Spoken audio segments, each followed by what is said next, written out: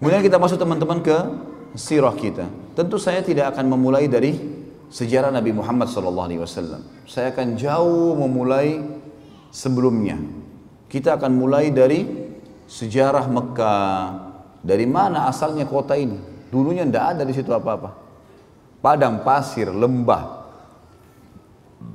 Kemudian kita akan masuk ke kisah kisah kota Mekah, kisah Zamzam, kisah pembangunan Ka'bah, ada poin di situ. Kemudian ada masuk Islam, ma masuknya agama Yahudi di Jazirah Arab. Kemudian masuknya agama Nasrani di Jazirah Arab. Kenapa ada orang Arab tapi beragama seperti agama Yahudi? Kenapa ada orang Arab tapi agamanya seperti agama Nasrani?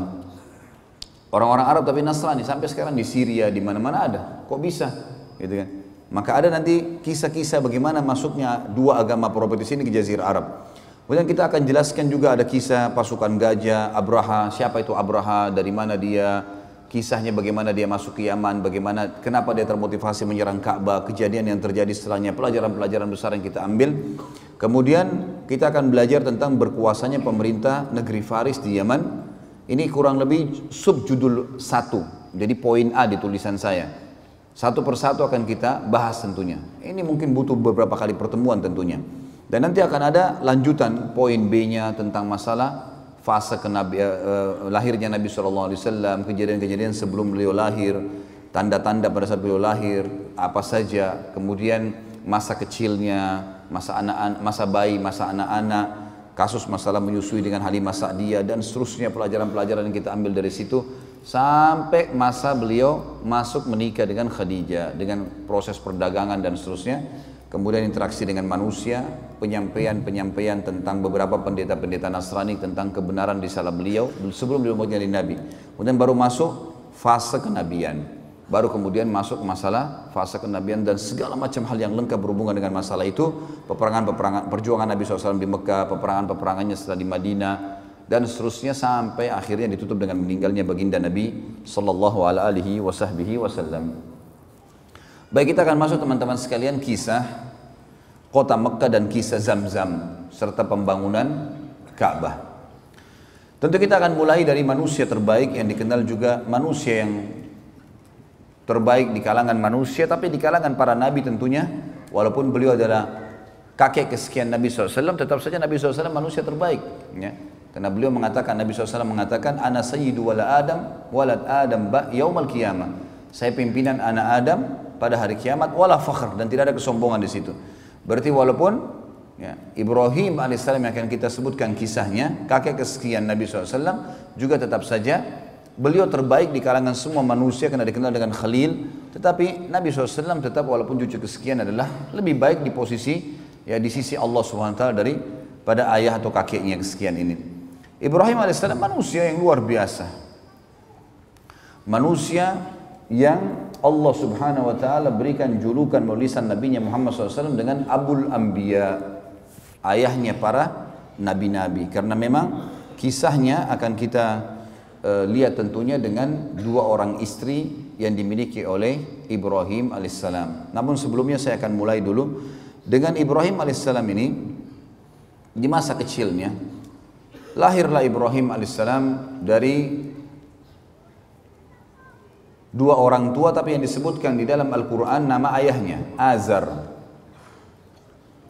Di zaman itu beliau lahir di Babilonia. Dan Ibrahim alaihissalam dari suku asli Babilonia. Babilonia adalah suku e, nama kota di Irak. Dan ini ada sukunya sendiri. Suku ini teman-teman bukan orang Arab. Bukan orang Arab. Karena waktu itu orang Arab di zaman Ibrahim alaihissalam cuma ada di satu tempat. Mereka belum menyebar. Adanya suku Arab di Mekah. Nanti eh, maaf adanya di Yaman adanya di Yaman, belum menyebar. Jadi memang setiap wilayah ada suku-suku sendiri. Babilonia ada sukunya dan Ibrahim alaihissalam pada saat itu lahir di satu malam, satu sore hari menjelang maghrib, menjelang malam. Di hari tepatnya di mana Namrud, raja pada saat itu mengaku sebagai Tuhan.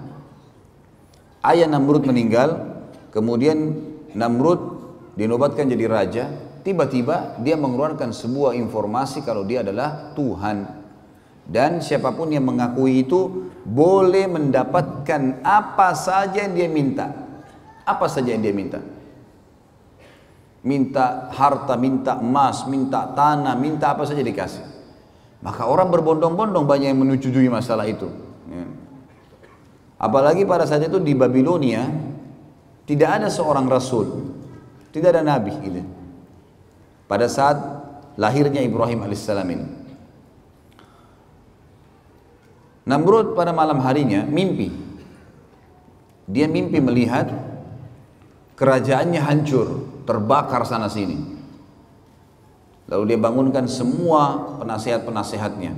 Malam itu juga waktu dia ngaku sebagai Tuhan tuh. Apa takwil mimpi ini? Kok bisa saya mimpi seperti ini?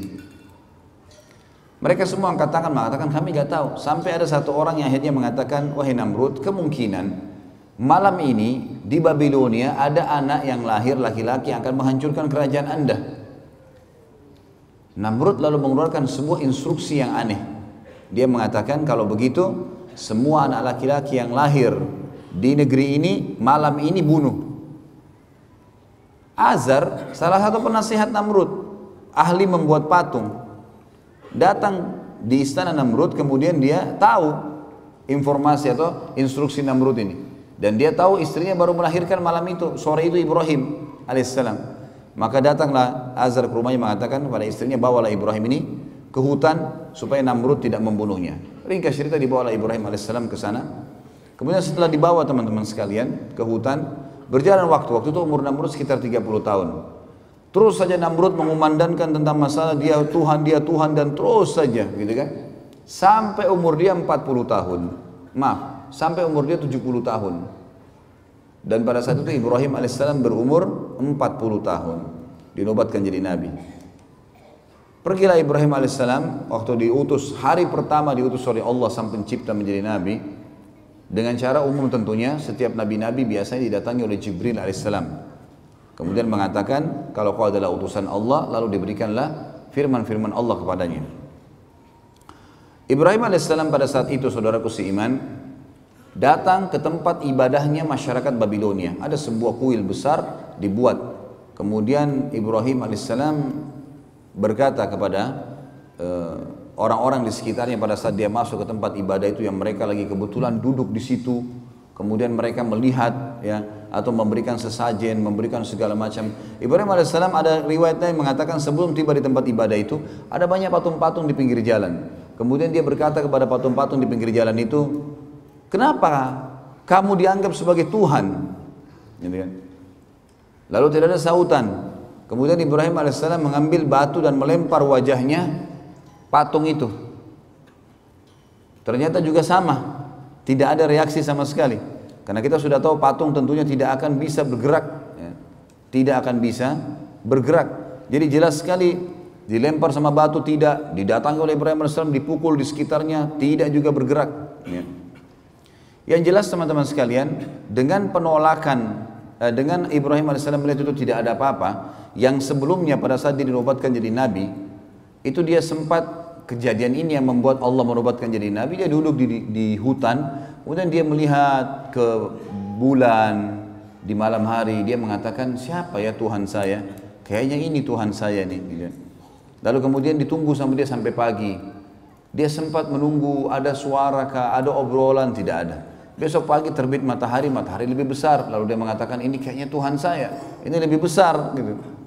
Kemudian juga ditunggu sama dia sampai terbenam matahari, mataharinya hilang. Kemudian dia mengatakan, kalau begitu ini semua bukan Tuhan dan saya mengatakan saya menyerahkan diri kepada Tuhan yang Maha Esa dan Maha Tinggi agar ya memberikan kepada saya petunjuk. Maka akhirnya Allah Subhanahu wa taala menjadikan dia atau diberikan dia uh, kenabian.